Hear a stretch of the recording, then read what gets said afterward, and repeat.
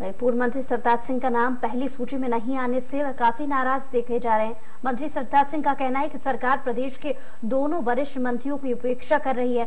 उन्होंने कहा है कि कल तक इंतज़ार करूँगा और इसके बाद क्षेत्र के कार्यकर्ताओं से मिलकर उनकी इच्छा जानूँगा। फ़िलहाल खनिज निगम अध्यक्ष शिव चौबे सरताज सिंह से मिलने के लिए पहुँचे। शिव चौबे ने कहा है कि वह तो साधारण तौर पर मिलने गए थे।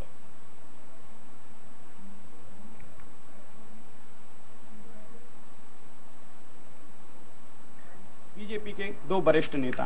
पहले उन्होंने अपना मंत्री पद गवाया और अब सीट गवाना, यानी टिकट की बारी है। हमारे साथ में सरताज सिंह जी हैं। सर क्योंकि आप लगातार कांग्रेस को हार का मुँह दिखाते आए हुए हैं और इस बार लेकिन आपको टिकट की ऐसी स्थिति चल रही है कि जो पहली सूची थी, उस पहली सूची में आपका नाम नहीं दिया गया है। अब इसका उत्तर तो जो जिन्होंने होल्ड किया है वही दे सकते हैं। लेकिन मुझे इस बात की तकलीफ़ तो है क्योंकि मेरा मामला है इसलिए मैं कहूँ, मैं ऐसा नहीं मानता, मैं पार्टी के हित में बात करता हूँ। मैं खुद के स्वार्थ को सामने रख के बात नहीं करता। तो वो सीट मैं निकाल सकता हूँ बड़े आराम से निकाल सकता हूँ। और केवल इसलिए निकाल सकता हूँ कि मैंने दस साल वहाँ काम किया जनता का विश्वास जीता है, विकास हुआ है, केवल इस कारण। और ये काम दूसरा नहीं कर पाएगा, क्योंकि उसने कोई विकास किया नहीं, उसने जनता के बीच में काम किया नहीं। तो इस नाते मैं पार्टी को सलाह देना चाहता हूँ कि भाई अगर चुनाव लड़ रहे हैं तो जीतने के लिए लड़ रहे हैं। आप जीतोगे तो सरकार बनाओगे, अन्यथा सरकार से वंचित हो जाओगे। इसलिए मेरा पार्टी के एक कार्यकर्ता के नाते हमारे नेतृत्व को ये सलाह है कि जहाँ सुरक्षित सीटें उनके बारे में उनको उलझाओ मत। जैसे कि बात करें सुरक्षित सीट है आपकी। वैसे ही बाबूलाल गौर जी की भी गोविंदपुरा विधानसभा सीट वो भी सुरक्षित है। लेकिन पार्टी दोनों ही वरिष्ठ नेताओं के साथ कहीं ना कहीं उपेक्षा कर रही है। हाँ, बात फिर वो आ जाती है कि इसका उत्तर मैं दूँ या बाबूलाल गौर दें? हम दोनों नहीं दे सकते। उत्तर तो वो देंगे जिन्होंने इसको होल्ड किया है। तो बेहतर है आप उनसे पूछें।